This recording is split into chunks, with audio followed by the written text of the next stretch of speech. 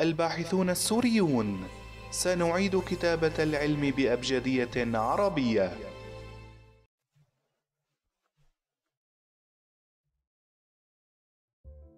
الواجهات المتحركة. تقنية مبتكرة في مواجهة تحديات المحيط الخارجي. كان لواجهات المباني عبر التاريخ تأثير بصري مهم حيث كان تصميمها هو الذي يعطي المبنى أهميته وخصوصيته. إلا أنها مع تطور الزمن قد تجاوزت كونها غلافا للمبنى وأصبحت تستجيب للتغيرات المناخية والتقنية وللتغيرات في ضوء الشمس وشدة الرياح. وقد شهدت الأعوام الماضية ظهورا واضحا للواجهات المتحركة. ويستعرض المقال مجموعة من أجمل هذه الواجهات التي تركت بصمة واضحة في محيطها. أولا المرآب الطابقي لمدينة بريسبين أستراليا 2012 صمم الفنان نيد خان عملا فنيا متكاملا يغلف الواجهة الشرقية لأحد مواقف السيارات الطابقية. وذلك عبر استخدام 117 ألف لوح ألمنيوم متحرك تشكل واجهة متراقصة كبيرة المقياس بارتفاع ثمان طوابق ومساحة خمسة آلاف متر مربع.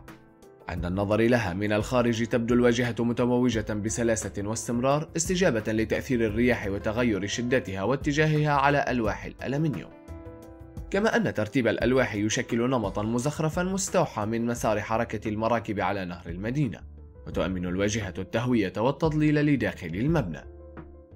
ثانيا معرض كيفر التقني ستيرمارك النمسا 2007 يغلف المعرض واجهة حيوية يمكن التحكم بتشكيلها المعماري حيث يمكن التحكم إلكترونيا بحركة 54 محركا ترتبط بألواح مستطيلة تميل حول محور مركزي.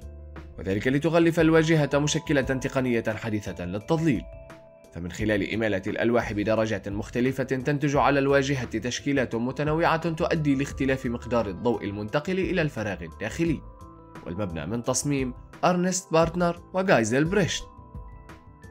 ثالثا المبنى الجديد لمتحف مايلووكي للفنون ويسكنسون الولايات المتحدة الأمريكية 2001 يمتاز هذا المبنى الصرحي بإطلالة بانورامية على بحيرة ميتشيغان. وقد اقترح المعماري سانتياغو كالترافا ممرا يمكن المشاة من الوصول إليه عبر جسر يشكل امتدادا لمحور شارع ويسكنسون. ويرتبط بهذا المبنى هيكل حركي مذهل يساعد بتخفيف مقدار الحرارة المكتسبة داخل المبنى عبر تشتيت أشعة الشمس. وذلك من خلال سلسلة من القواطع المعدنية التي تفتح وتغلق آليا لتبدو كجناحي طائر كبير. مما يجعل من المبنى نقطة علام وجذب للمدينة.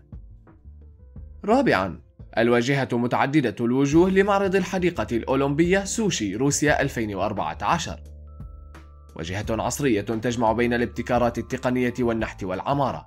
قام بوضع مفهومها المعماري اللندني آصف خان ونفذتها شركة آي آر. وهي أشبه بلوح من الدبابيس قادرة على الحركة وفق الأبعاد الثلاثة لتحاكي الوجوه البشرية. فهي تعرض الصور الذاتية السيلفي لزوار المبنى والمشجعين الرياضيين حول روسيا. أبعاد الواجهة 18 مترا بثمان أمتار. وتتألف من 11 ألف أسطوانة متداخلة يمكن التحكم بكل منها بشكل منفصل. تحمل كل منها برأسها كرة نصف شفافة تحوي مصباح LED متغير الإضاءة. ويشكل كل منها مربعا صغير أي بكسل ضمن كامل الواجهة. ويمكن لهذه المربعات أن تمتد أفقيا بعيدا عن الواجهة مسافة معينة تصل حتى المترين. وذلك تبعا لدورها بالتكوين ثلاثي الأبعاد كما يتغير لونها وفق الصورة التي يتم عرضها.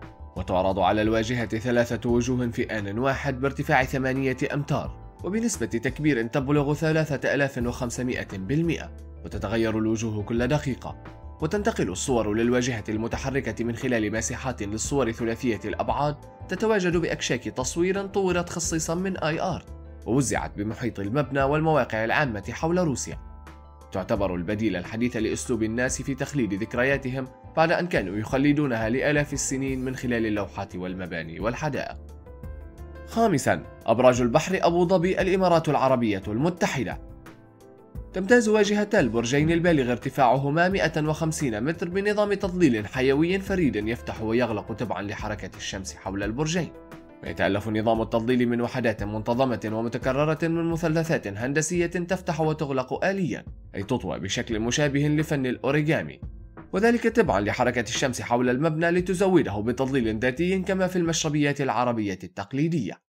مما يقلل من كمية الطاقة الشمسية الداخلة للمبنى بنسبة 20% أيضا ويقلص نسبة انبعاث الكربون من الأبراج والتي يفترض أن تنتج عن أجهزة التكييف بمقدار 40% وذلك انسجاما مع مبادئ نظام تصنيف المجلس الأمريكي الخاص بالأبنية الخضراء الهادف لتحسين الأداء البيئي.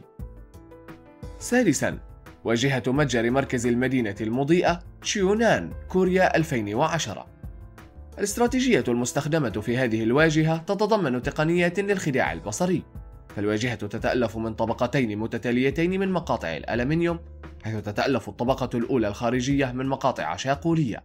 تقع خلفها الطبقة الثانية ذات المقاطع المائلة لتبدو الواجهة شبيهة بموجة تتحرك وفقا لتغير منظور المشاهد. وقد تم تصميم إنارة المبنى بالتوازي مع عملية التصميم المعماري والاستفادة من الإكساء مزدوج الطبقات بهدف تحقيق أكبر سطح إعلاني مع أقل عدد ممكن من تجهيزات الإضاءة إضافة إلى أن هذه التجهيزات مدمجة ضمن القواطع الرأسية لطبقة الواجهة الخارجية وتقوم بإسقاط الأضواء على الطبقة الداخلية المائلة لتتألق الواجهة بتأثيرات ضوئية مختلفة ليلا. سابعا جناح معرض سو كوريا الجنوبية 2012 شيد المبنى ليستضيف فعاليات معرض إكسبو في العام 2012 تتألف واجهاته الخارجية من سطوح منحنية تحدد الفراغات الداخلية وتتداخل هذه السطوح مع سلسلة متعرجة من جذوع المخاريط المصمتة والتي تطل على البحر مباشرة. وما يميز هذا المبنى واجهة الدخول الرئيسية التي تحتوي على سلسلة متناغمة من الصفائح الرقيقة التي تتباين في ارتفاعها. وتستخدم للتحكم بمقدار الأشعة الشمسية الداخلة للمبنى من خلال تحركها حول محور جانبي. وتعتبر مشاهدة هذه الحركة تجربة عاطفية مليئة بالإحساس والإثارة. يشكل المبنى نقطة علام للمدينة منسجما مع النسيج العمراني والبيئة المحيطين به.